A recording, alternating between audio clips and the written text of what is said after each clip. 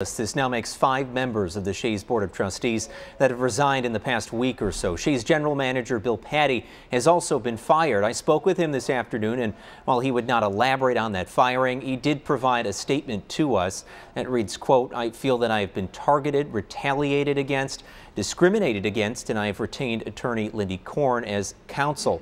The Buffalo News has extensively and first reported on how Shea's President Michael Murphy has been accused by several staff members of creating a, quote, toxic work environment. Now, last Thursday, Shea's announced it would be reorganizing and that Murphy had accepted a new set of responsibilities for the next six months while with someone else running day-to-day -day operations. Well, the five now former trustees have all been removed from the Shea's website, including Sujatha Yalamanchili.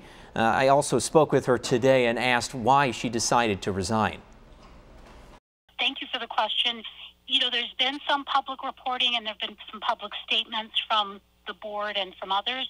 So I'll let those sort of speak for themselves. At this point, I'm not prepared to comment further on, on any of the things that you just asked.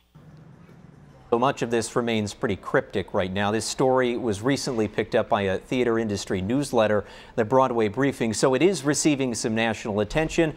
Well, neither Shea's nor the current Board of Trustees chairperson have returned my calls, but we will continue to reach out to them. In the Information Center, Rob Hackford, Channel 2 News.